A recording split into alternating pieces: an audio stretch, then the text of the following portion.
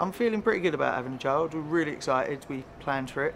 And once the baby's born, we'll be sharing pretty much everything. I mean, I already cook, I already do all the other tasks that some people might see as the ladies' task anyway. I clean more than my wife. Employers can definitely adjust the shared parental leave to help new expectant parents simply because at the moment you end up losing too much money.